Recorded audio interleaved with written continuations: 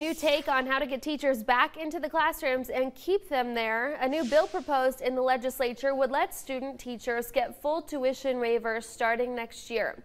This was first reported by the Nebraska Examiner. LB 953 from Omaha Senator Kathleen Kauth would apply to student teachers seeking a degree related to teaching through the University of Nebraska and other schools in the Nebraska State College system. The waiver would only apply for the semester they're student teaching. Read more about this and how Senator Kauth says it's only part of the solution on the Examiner's website.